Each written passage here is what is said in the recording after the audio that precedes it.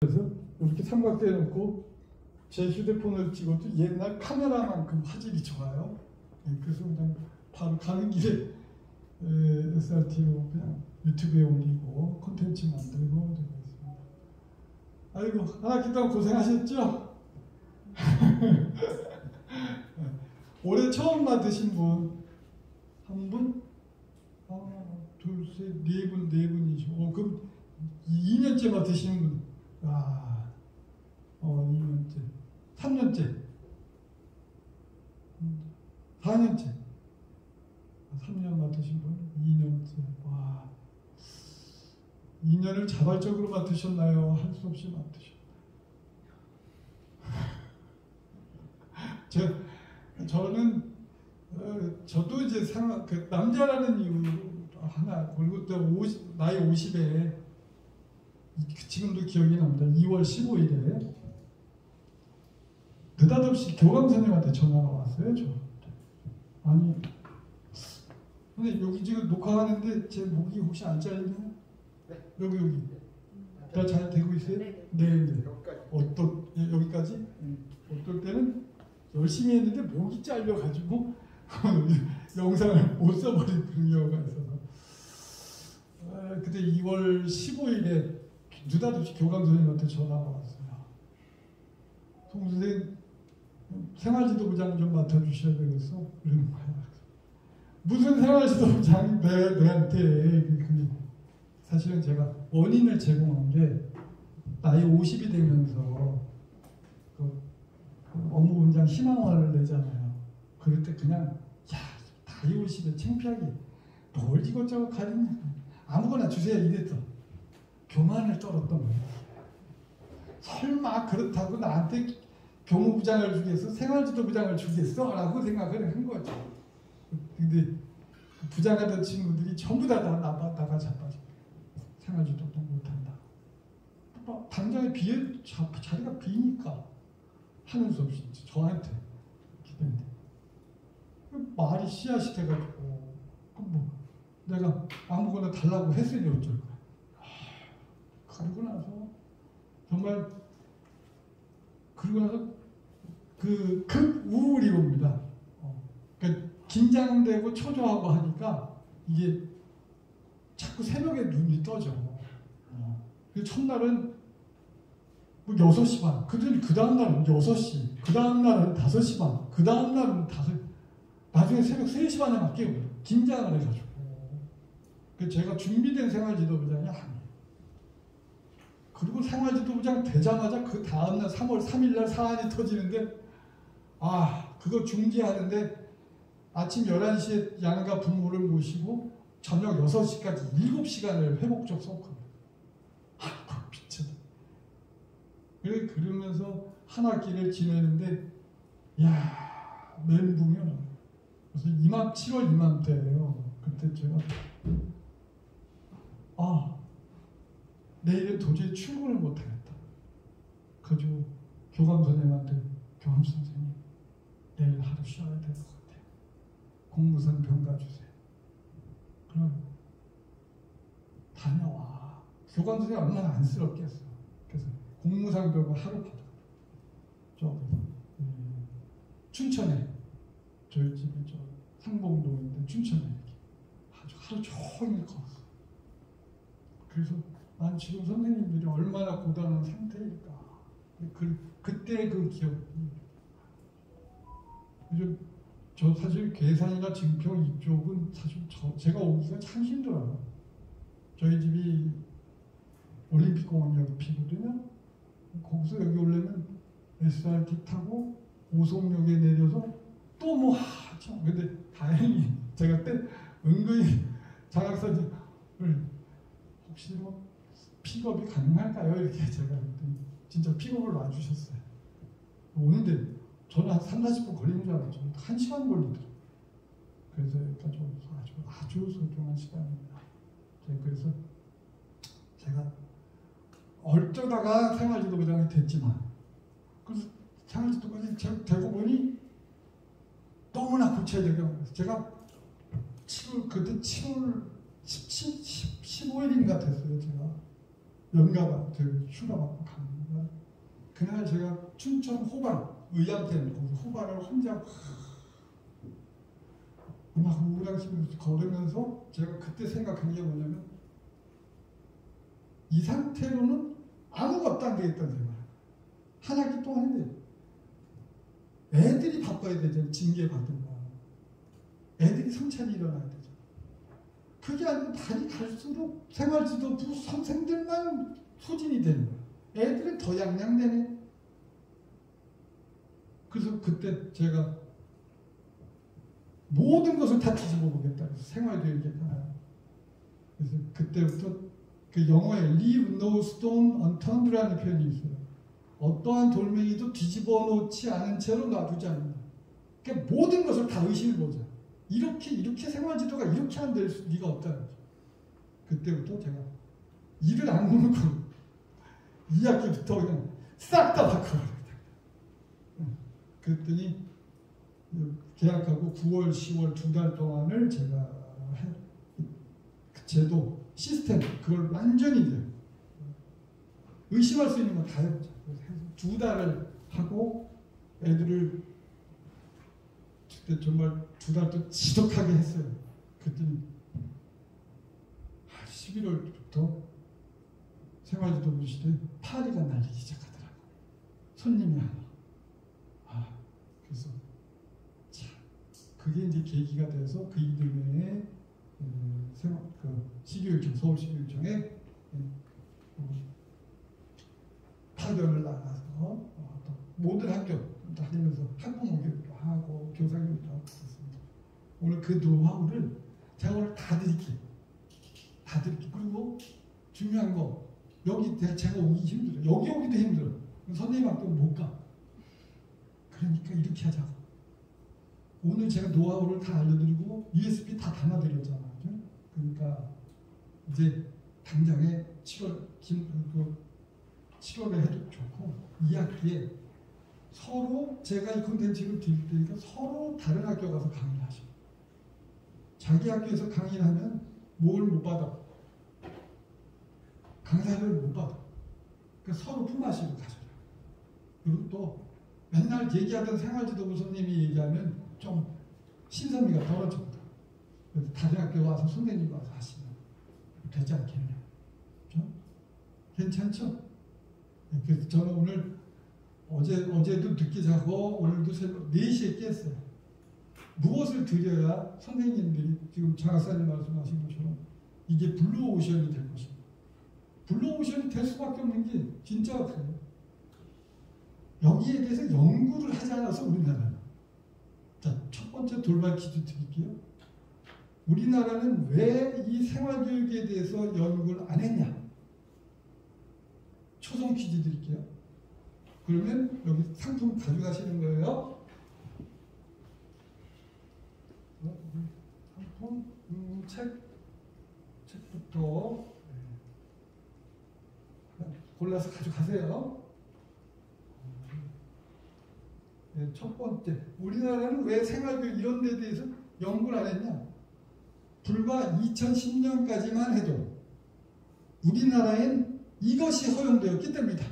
이거. 네. 정답입니다. 워킹 수를 하시죠. 곤란하세요. 네, 박수 좀 주세요. 세상의 훈육 중에 체벌만큼 강력한 훈육이 어디 있습니까? 이렇게 강력한 훈육인 체벌이 있기 때문에 우리는 연구할 필요가 없었어. 그냥 그땐 욕도 허용됐잖아요. 애가 까불고 이러면 너 나와 이 새끼야. 그럼 그 그죠? 근데 2010년도부터 우리가 교수님 연구를 안 하게 연구를 네. 토끼 인형 가져가셨네. 네. 이거는 저 파티 전문점 가시면 파티 전문점 가시면 이런 거 많아요. 음, 그렇습니다. 뭐, 아, 가격도 싸요.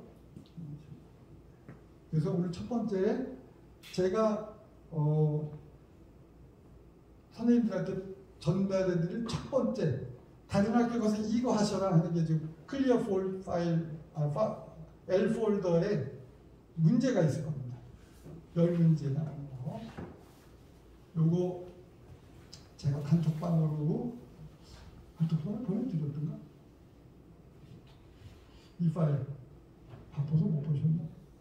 얘가 내일 아침에 단- 단톡방으로 요 파일 보내드릴게요. 요걸 가지고 요 그대로 파일 가지고 다른 학교 가서 서로 해주셔라는 거예요. 제가 하는 요령을 아, 좀 안내를 해드리겠습니다. 그 주- 중간중간에 제가 돌발 퀴즈로 또 역시 상품 드릴게요. 자, 1번. 여기 이제 이건 애들한테 직접 하셔도 되고, 근데 제일 좋은 건 그 학교 선생님들한테 하는 거예요. 왜냐? 가장 효과가 있는 게 담임이 하는 거예요. 왜냐하면 그 애들이 그래야 담임을 어려워합니다. 오, 우와, 우리 담임 선생님은 별거 다 하시네. 애들이 두려워하죠. 어려워합니다. 그러니까 학교에 가셔서 다른 학교 가서 이 문제를. 여기 보시면 그 주소도 제가 다 알려드릴게요. 단톡방에 나가지만 않으시면 다 알려드릴게요. 그리고 진짜 바라는 거 여기 있는 모든 선생님이 계산증평 교육지원청의 학교폭력 예방 강사가 되시길 간절히 바랍니다. 자, 오늘 요거 선생님들 명함 좀 꺼내 보실래요? 제 명함을 뽑아 드렸는데 여기 돌봄 치유 교실이라는 카페 주소가 있죠?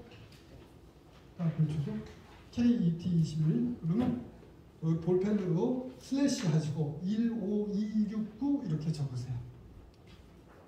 슬래시 하고 명함에 15269 이렇게 적으시면 요 요거를 어, 학교에 가서 이용하실 수 있고 선생님들은 학교 가서 하지 마세요. 음, 강사님 못 받아 다른 학교 가서 서로 품하셔. 옆에 선생님하고 눈인사 좀 하시죠. 다 같이 옆으로 옆에 선생님하고 예, 예, 서로, 서로 서로 인사 좀 하세요. 예, 예,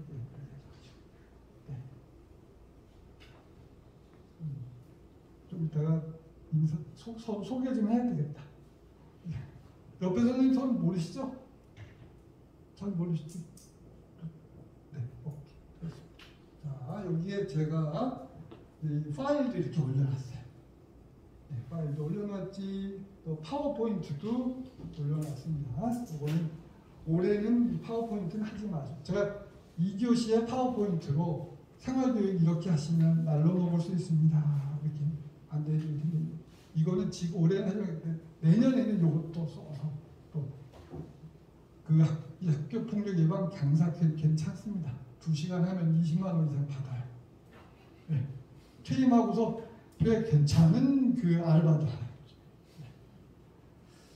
네. 자, 이렇게 문제 의식을 갖췄습니다.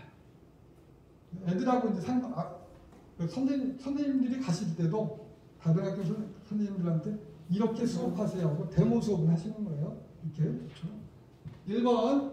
자, 길에서 주운 돈은 주인이 없다. 아, 주운 돈에 무슨 돈이 주인이 있어? 음, 야, 내가 열심히 살아왔더니 하느님이 나한테 5만 원짜리를 주셨네. 길 가다가 죽었어요. 자, 이것은 어, 내가 가져도 된다 안 된다. 오케이, 그렇지. 안 된. 뻔하게 또 전부 다 안- 답은 다 안 된다. 그런데 여기서 질문 첫 번째 질문입니다. 그런데 죄가 되는데 이게 무슨 죄가 될까요?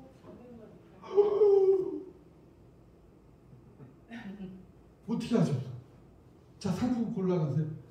정답이 점유 이탈물 횡령죄라는 어마어마한 이름. 왜? 몰라. 박수 주세요. 자기 손에서 벗어난 물건을 횡령했다 이 뜻입니다. 횡령죄 쉽게 말하면 횡령했다. 횡령이라면 한 5, 6학년 정도만 알 수 있을까요? 네, 횡령죄.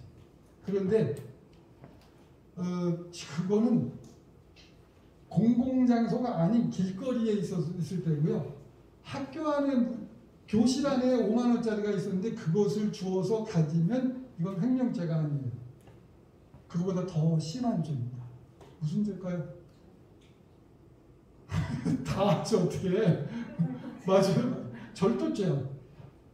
그 도둑질이 되는 거예요.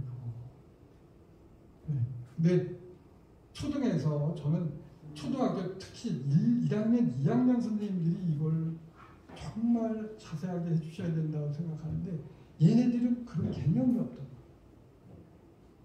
어떤 식으로 얘네들한테 저학년에서부터 이것이 범죄 행위라는 걸 이거를 만든 이유가 있어요. 초등 집사람이 그러는 거예요. 여보, 아, 요즘 애들은 왜 자기 거 남의 거 구별이 안 되는 거야? 우유가 이렇게 있잖아. 사물함 에 우유가 있으면 그냥 주인 없는 거니까 그냥 먹어버리든가. 그런 얘기를 하더라고요. 그래서 아, 그러면 안 되지. 그거는 범죄 행위라는 걸 알려줘야지. 그걸 그 당시에 알려줘야 가장 효과적이죠.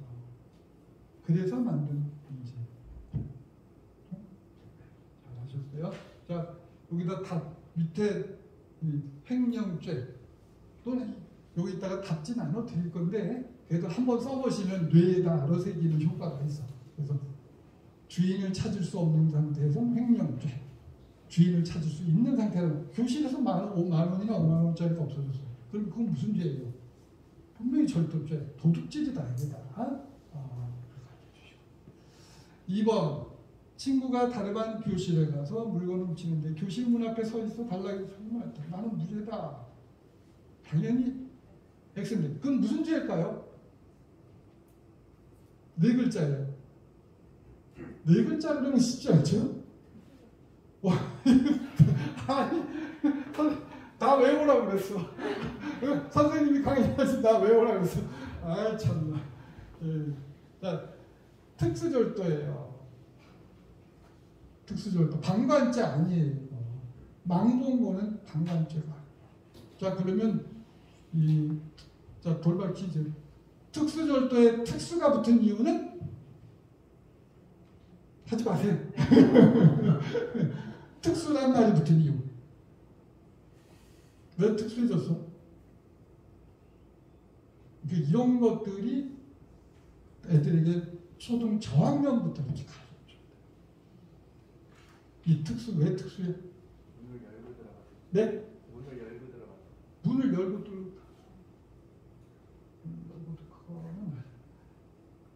그, 야, 지금 저 시사점 있는 말씀하시죠. 야간에 하게 되면 또 특수자부터요. 위험한 상황 거든요. 그건 아니고, 이 경우는.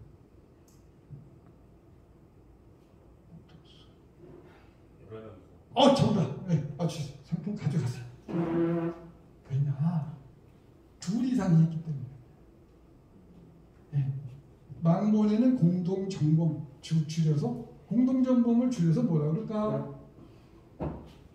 공동정범을 줄여서 두 글자로 공범이라고 하는 거야. 너희들이 말하는 건 공동, 공동의 행위를 했다는 거야. 그런데 애들이 이걸 또 잘 몰라. 그냥 누구는 올라가서 훔치고 자전거 뭐 이렇게 훔치고 내려오고 고물상에 팔아먹고 그거로 이제 돈 만들어서 너, 너도 아이스크림 먹어 이랬다고 그 아이스크림을 먹지 말았어야 돼. 근데 그 아이스크림 하나 먹어서 그럼 뭐가 돼? 그게 공동정범이 되는 음. 그럼 저는 이게 이걸 생활법 교육이라고 합니다.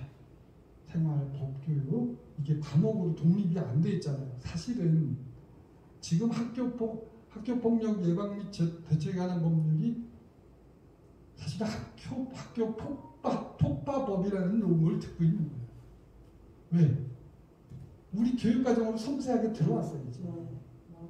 그래서 시험 문제도 냈어야지. 그게 안 되니까 맨날 걷거나 물론 어울림이란 좋은 제도가 있긴 하지만 좋은 뭐 프로그램이 있긴 하지만 그래도 좀 아쉽습니다.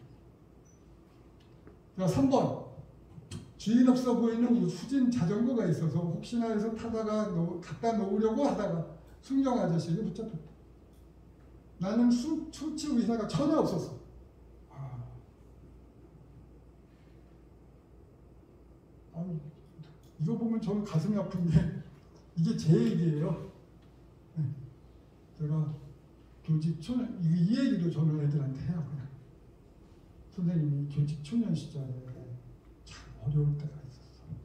중간고사가 되니까 너무너무 좋아가지고 도봉산 갔다가 술이 막금 돼가지고 내려왔어. 그러다가 보니까 맥주집 가서 500cc 한 잔 더 하니까 뺑 갔어. 선생님이 도, 소주는 이런 거였는데 맥주는 약해. 그래서 어, 이 취해가지고는 자전거를 맥주집 앞에 있는 자전거를 내가 타려고 탄다고 거기서부터 도봉산에서 올림픽 공원까지 어떻게 오겠니? 그러면 선생님이 도둑질할 의사가 있었겠니? 없었겠니? 그런데 주인 아저씨가 붙잡았단 말이야. 나 자전거 타고 가는데 한 10m나 갔나? 그랬더니 이 사람이 112에 신고를 한 거야. 어, 내가 그렇게 파출소에 갔잖아? 나는 떡이래고 술이. 한 12시쯤 되니까 112 수찰차가 와서 나를 경찰서로 데려가네. 여러분들 경찰서 이거 알지? 이거 바리케이트 쳐 있는 거 유치장에 들어간 거야. 야, 근데 생각해봐. 담임들이 내가 그거 훔칠 의사가 있었겠냐? 그 나는 그냥 에이 그것도 교사 신, 신분도 확실한 현직 교사들. 아, 저는 무혐의가 나올 줄 알았어요. 무혐의. 그 다음 장. 무혐의 그 다음 단계는 뭔가요? 이럴 때 이제 이게 담임 선생님이 하시면 좋은 게 뭐냐면 이걸 해본 녀석들은 이걸 알아요. 그래서 자기도 모르게 뭐요 이렇게 답답을 해. 그러면 우리는 자연스럽게 알 수 있어요. 그 저놈이 저놈이 저걸 해봤구나 그리고 자연스럽게 아는 거예요. 음. 기로 시작해 기. 정답 어떻게 하셨어? 네, 마시면서 박수 주세요. 아, 이렇게 글쎄 무혐의가 나올 줄 알았더니 사람들이 법원 검찰까지 넘겨서 기소유예가 나와. 그러니까 이게 경찰이 검문을 하면 뭐 아냐? 경찰이 주민등록번호하고 성명 대주세요 그러잖아. 그러면 이게 경찰청 본청 컴퓨터에 가서 조회를 해가지고 바로 나오거든. 선생님이 그때부터 몇 년을 쪽팔렸는지 모른다. 검문을 해서 그러면 경찰이 의경애가 보고 선생님을 보고 피식 웃어. 왜 웃었겠어? 뭐가 있어? 기소유예 절도. 지금 몇 년 지나면 이게 이 뭐, 뭐냐 그 삭제 그, 그 대외로 발표는 안 나는데 경찰청 컴퓨터에는 평생 있어요. 그래서 선생님은 앞으로 뭘 주의해야 돼? 이제 또한 또 한 번 하면 이거랑 겹쳐서 처벌돼. 이렇게 어. 그러니까 현직 교사인 선생님도 나 이거 훔칠 의사 없었다는 걸 증명할 수가 없어요. 그러니까 여러분들은 아, 예, 그런 생각을 하지 말아야겠지. 오케이. 다음 4번. 아무개는 친구들에게 돈을 빌려달라고 하고 갚지를 않는다. 요거는 어떤 애들이 저는 여태까지 돈을 돈을 품, 돈을 뺏었다는 애들은 별로 본 적이 없어요. 얘네들 한결같이 뭐라고 해? 돈을 빌렸다고 해요. 그래서 이렇게 교육을 시켜주셔야 돼요. 갚을 기약 없이 돈을 빌리는 것은 무엇이다?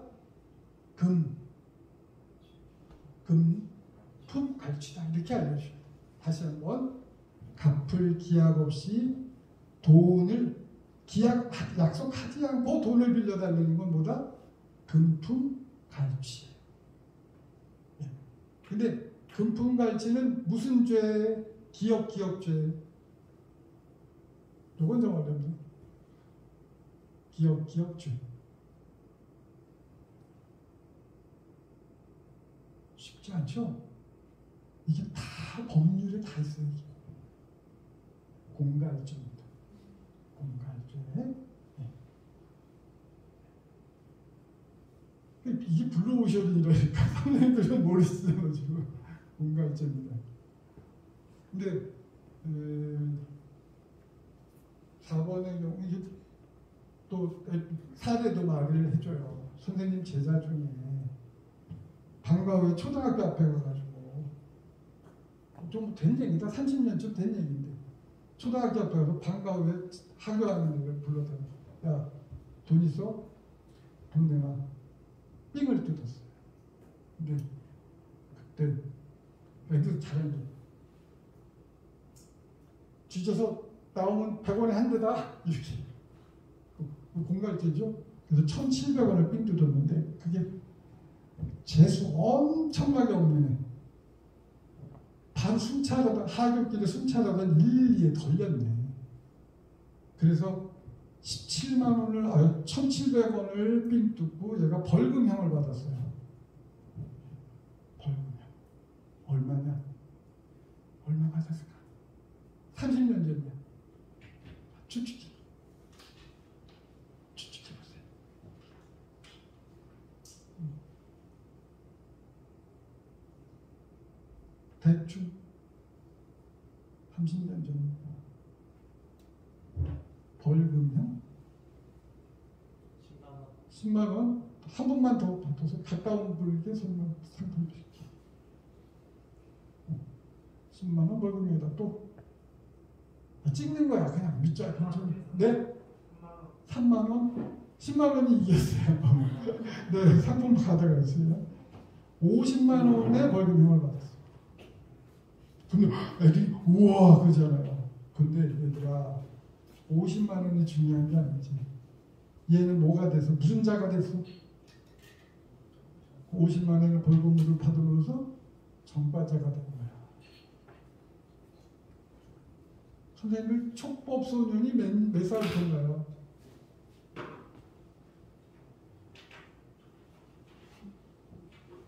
자 검색 퀴즈. 선생님 휴대폰으로 검색해 보세요. 촉법 소년. 자, 검색해서 제일 빨리 찾으시는 선생님 몇 세부터 몇 세?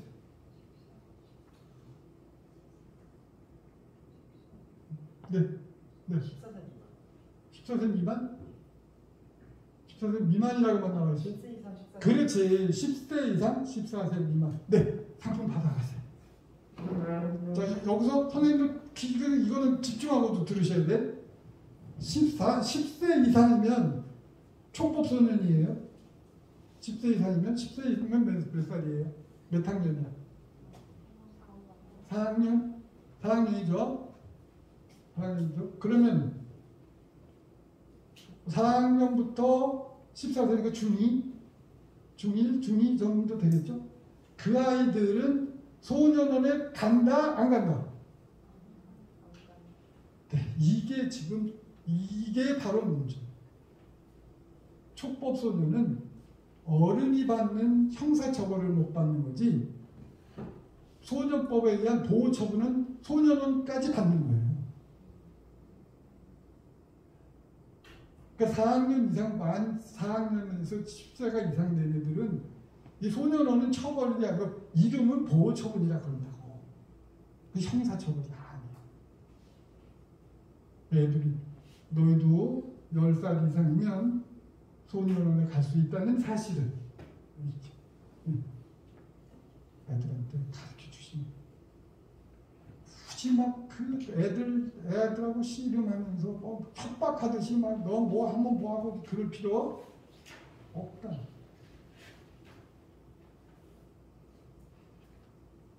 네. 5번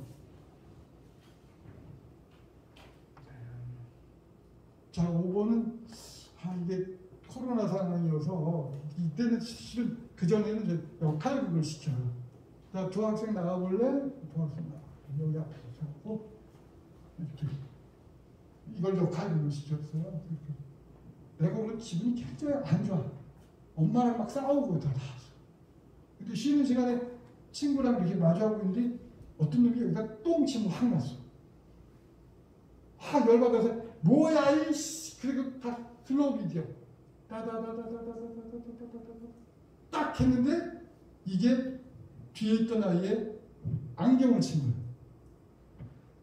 선생님들 눈 밑에 아나골이 상당히 약한 거 아세요?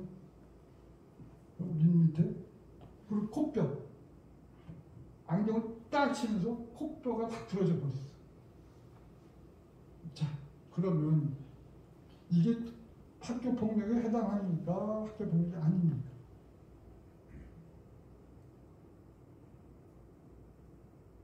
자 여기서 학교 폭력이다 그러면 보 아니다 생각할 때는 주목. 학교 폭력이다. 아니다. 준비하시고 쏘세요. 학교 폭력이다. 학교 폭력 아니다. 학교 폭력 아니다고 보는 분이 두 분 계시네요. 왜 학교 폭력이 아니다 마이크 치시고 말씀 좀 해주세요 잠깐만요 어, 일단은 고의성이 없고 일회적으로 한 번만 하고 끝났기 때문에 아니라고 생각했습니다. 고의성이 없고 이- 일회성이다. 네. 또 아까 아니다라고 하셨는데, 네, 네.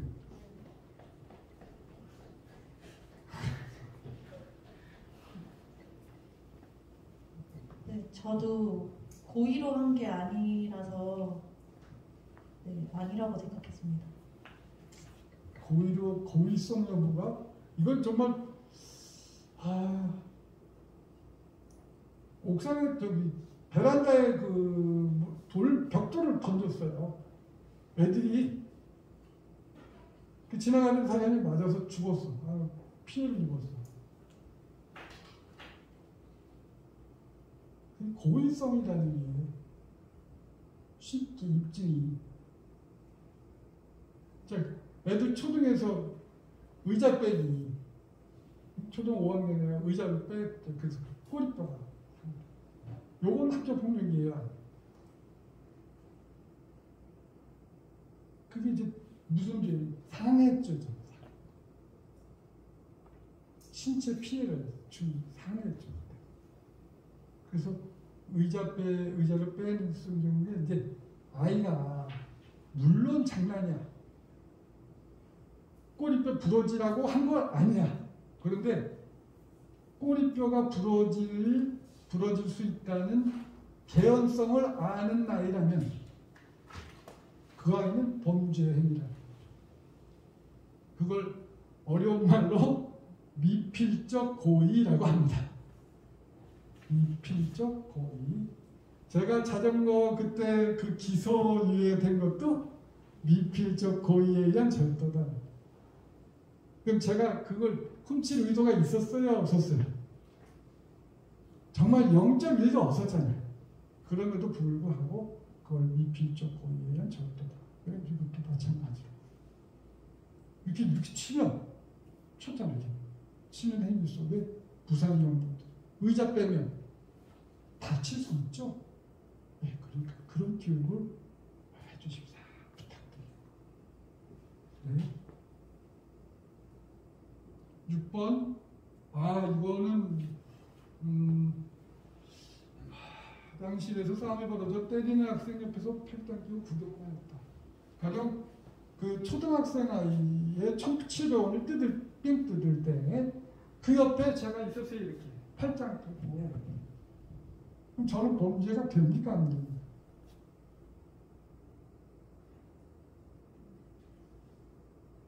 팔짱 있어요.